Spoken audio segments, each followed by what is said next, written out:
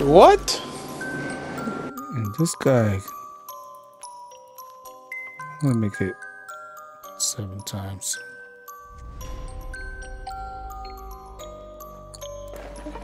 He's the biggest man I've ever seen. I wouldn't want to fight him. That's why no one will remember your name.